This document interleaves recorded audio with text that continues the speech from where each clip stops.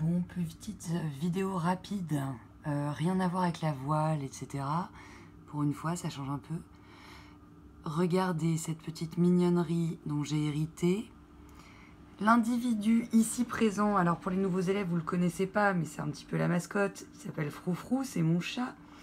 C'est découvert des instincts, a décidé de chasser des souris. Il en a chassé une, qu'il a tuée, il en a chassé deux, qu'il a tuées, et à chaque fois il me met sur le paillasson de l'entrée.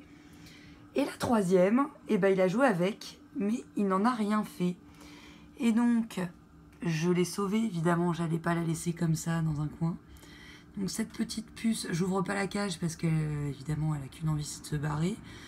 S'appelle Séraphine parce que j'ai trouvé que c'était mignon.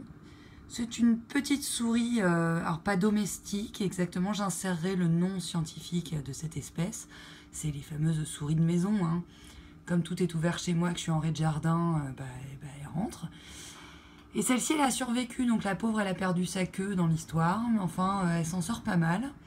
Elle mange des petits beurres, c'est pas ce qu'il y a d'idéal, mais enfin, j'avais rien d'autre, et du pain que j'ai fait moi-même, donc voilà. Elle reprend des forces dans sa petite cage et évidemment, Séraphine, quand elle, parce que c'est un bébé, hein, quand elle sera prête à repartir, si elle est prête un jour à repartir, eh ben, je la relâcherai. Pour le moment, j'ai l'impression qu'elle a une petite patte un petit peu euh, abîmée.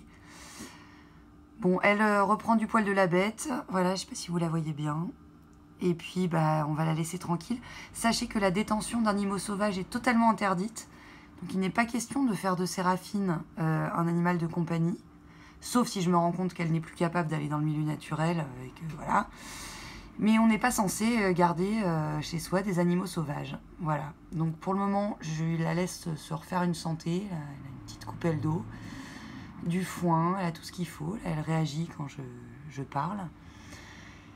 Elle est trop mignonne. Elle fait, elle fait quoi? Elle fait, elle fait 5 cm à tout casser. Voilà, hop.